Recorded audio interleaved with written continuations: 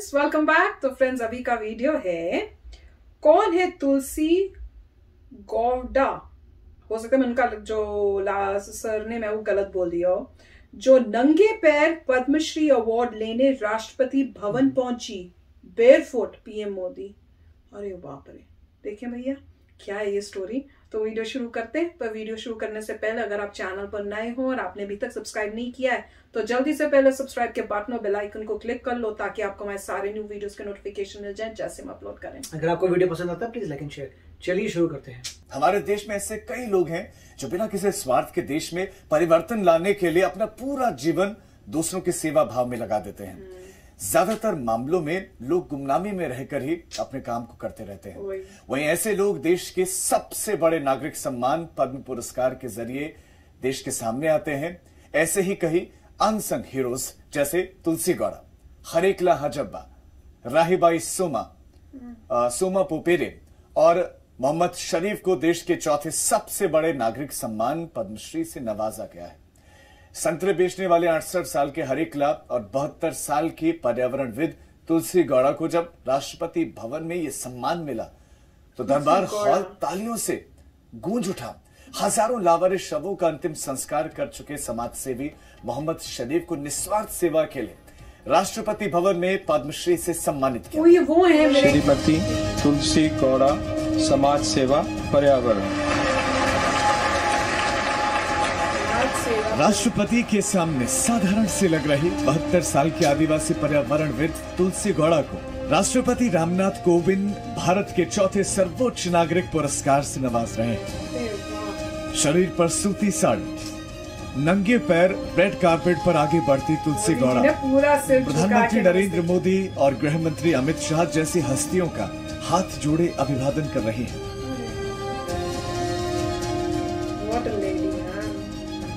और राष्ट्रपति भवन का ऐतिहासिक दरबार हॉल तुलसी गौड़ा के सम्मान में तालियों की आवाज़ से गूंज रहा है।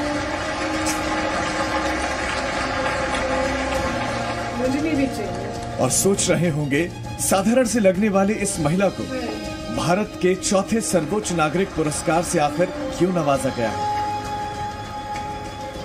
तो आपको बता दें तुलसी गौड़ा को एक पर्यावरण योद्धा जिन्हें इंसाइक्लोपीडिया ऑफ़ फॉरेस्ट के नाम से भी जाना जाता है।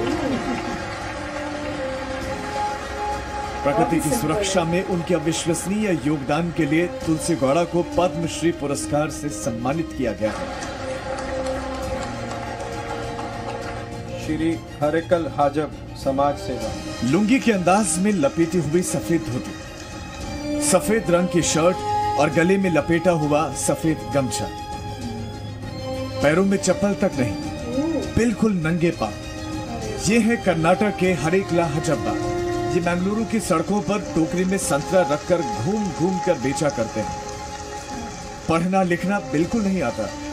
दक्षिण कन्नड़ ज़िले के जिस गाँव में पैदा हुए, वहाँ स्कूल नहीं था। इसलिए पढ़ नहीं पाए। ठान लिया कि अब इस वजह से गाँव का कोई भी बच्चा अशिक्षित नहीं रहेगा। संतरा बेचकर पाई पाई जुटाई पैसों से उन्होंने गाँव में स्कूल खोला। ये स्कूल हजब्बा अवारा शेल, यानी हजब्बा का स्कूल नाम से जाना जाता है।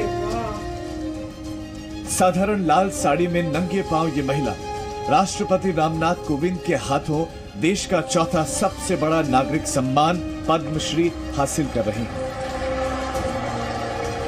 ये है राहीबाई सोमा पोपेरे। महाराष्ट्र के अहमदनगर ज़िले की एक आदिवासी महिला, पेशा खेती किसानी, लेकिन नारी सशक्तिकरण की सशक्त मिसाल इन्हें सीड मदर के नाम से जाना जाता है।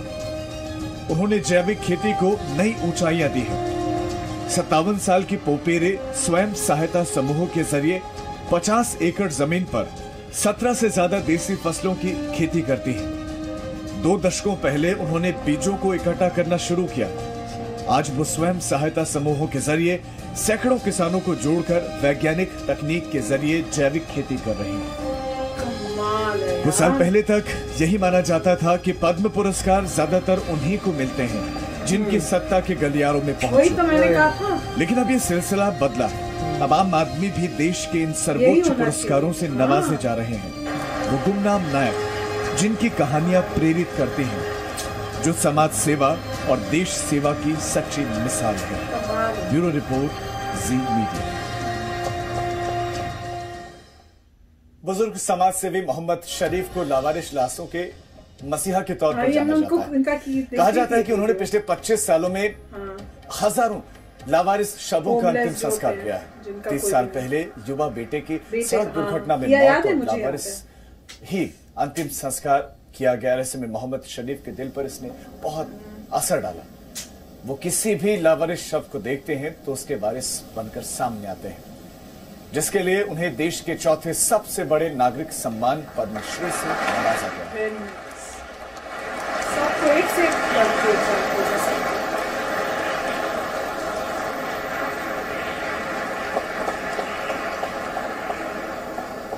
तो सच्चे कर्म योगियों को यह सम्मान है।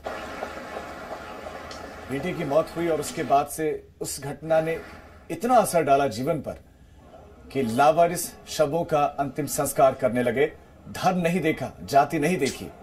और आज उन्हें उसी तरह सम्मान मिला है। धर्म, जाति देखे बगैर।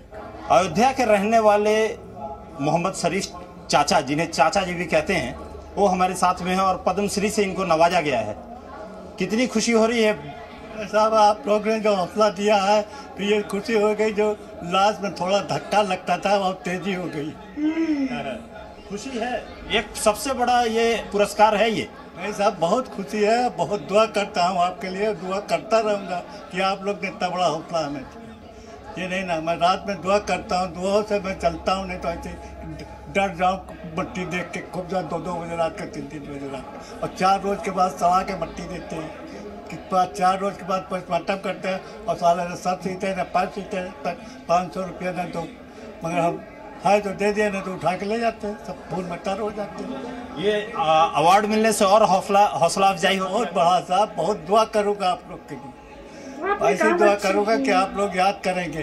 कहने से नहीं चाहिए कह- दिल से करना चाहिए और कह किया है तो कुछ नहीं किया। कैसे ये चाचा जी कहा जाए तो कैसे शुरुआत कैसे हुई आपकी ये? एक लड़का था अट्ठाईस साल अट्ठाईस साल का और वो गया था सुल्तानपुर।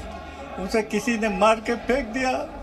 मैं ढूंढता रहा, मेरा बेटा कहाँ चला गया, कहाँ चला गया तो एक दिन बिस्तर लेके वो थाना इंचार्ज आया शंभू मार्केट में पीरू टेलर के यहाँ कहने लगा बुसत पहचानते हो कहीं हाँ कहीं बुलाया, वहाँ वहाँ पागल हो गया। कहीं ये लाश को वहाँ लाइन के किनारे बोरे में फेंकी गई थी। फिर लाश को जाके देखा, अब देखने के बाद मैंने कसम खा लिया फैजाबाद में कि कोई ना हिंदू है, ना मुसलमान। मेरे लिए सब इंसान अब मैं जब से करने लगा, तीन हज़ार हिंदू और ढाई हज़ार मुसलमानों कर चुका हूँ और सुबह उठ के पहले ही देखता हूँ कि कोई लावारिस तो नहीं, ना या भूखा अस्पताल में ट्रेन से कटा या जहर खिलाया, आया मैं उसको करता हूँ। अभी तक मैंने कोई मकान नहीं बनवाया और न सरकार ने कोई अब तक हमें कोई पैसा दिया। मगर मैं कर रहा हूँ करता रहूँ। करते रहेंगे। मोदी सरकार ने आपको नवाजा है इस पद्मश्री अवार्ड से नवाजा है। ये उस आप लोग की मेहरबानी है कि आप लोग ने पेपर में निकला जो कि आप लोग ने हमको उठा के और सरकार को बताया तब नवाजा है। ये नहीं कि सरकार ने देखे सरकार तो लिख के देती है, सड़ी हुई मट्टी ले जाओ उसे तो मालूम ही है। मगर ये आप लोग का हौसला अफजाई मैं तो करता हूँ। मालिक आप लोग को आपके परिवार को खुश रखे कि आपने ऐसे गरीब आदमी को नवाजा और हौसला अफजाई धन्यवाद जी मीडिया से बात करने के लिए। तो फ्रेंड्स वाकई कमाल का वीडियो था और इतने सारे एग्जाम्पल्स मुझे लगा था कोई एक होंगे जो नंगे पैर आए हैं। पर उन्होंने जितने एग्जाम्पल्स दिए सभी नंगे पैर थे। मतलब उन्होंने वाकई में बहुत ढूंढ ढूंढ के निकाले हैं कि किन कौन डिजर्व करता है। ऐसे नहीं बहुत मेहनत की लगता है ढूँढने में। जिस तरह से उन्होंने ढूंढा और इतने सिंपल थे सबके सब।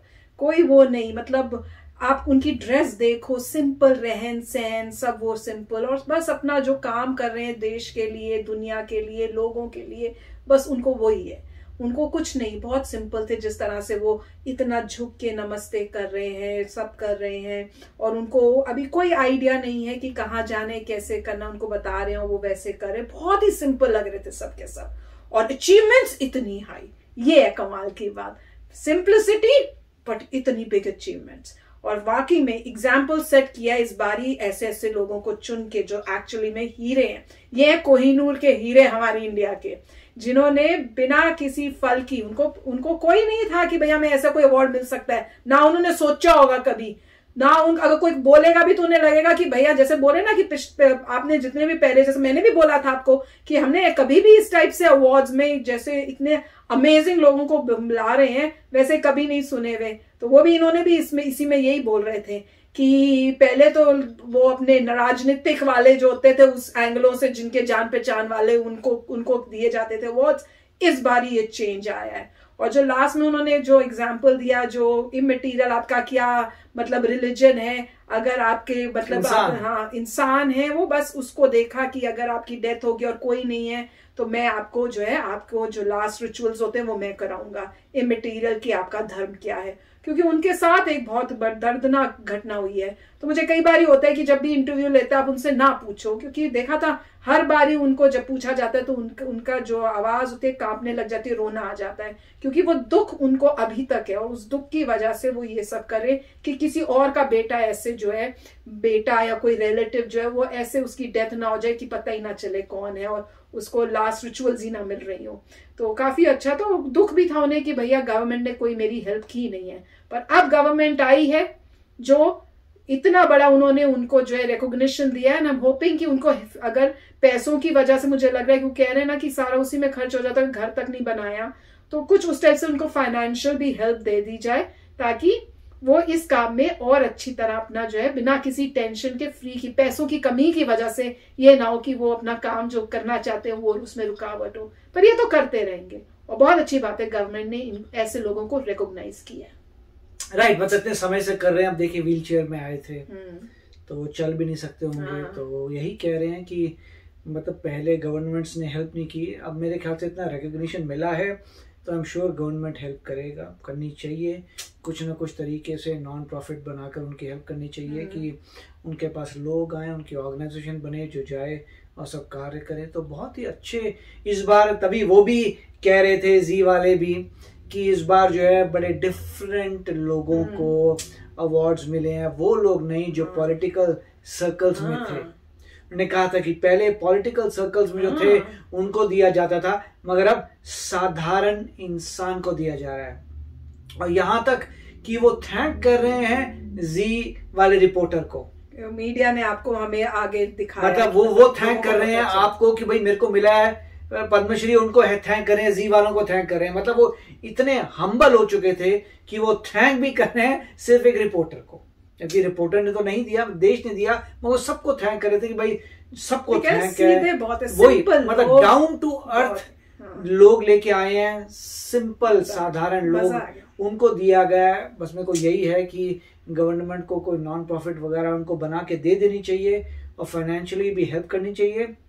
क्योंकि ये जो भी डोनेट करेगा ये ट्रू डोनेशन होगा जो आपको गारंटेड है कि सही रास्ते पे आपका पैसा जा रहा है। तो वेरी नाइस वैसे आप डोनेट करते हो इतनी बड़ी बड़ी ऑर्गेनाइजेशन जिसमें पता नहीं ठीक जगह जाता, जाता नहीं। क्या पता आपको ये है अगर किसी को कोई डोनेट करना है या हेल्प करनी है तो इनको दो ताकि अच्छे काम में काम लगे। पर मज़ा ही आ गया यार इतना अच्छा बस हर साल ऐसे ही करें। चाहे कोई गवर्नमेंट है उनके लिए एक एग्ज़ाम्पल सेट कर दिया है। अब हर साल ऐसे ही वेल डिजर्विंग ढूंढ ढूंढ के जो है उनको अवार्ड मिलना चाहिए मज़ा ही आ गया। चलो फ्रेंड्स चलते हैं मिलेंगे नेक्स्ट वीडियो में। बहुत ही जल्द। Till then take care and bye bye तो अगर आप मेरे इस चैनल पे नए हो तो जल्दी से सब्सक्राइब के बटन को हिट करो और बेल आइकन को क्लिक करो ताकि आपको मेरा जब नया वीडियो मैं लगाऊँ आपको उसके बारे में जल्दी से पता चल जाए।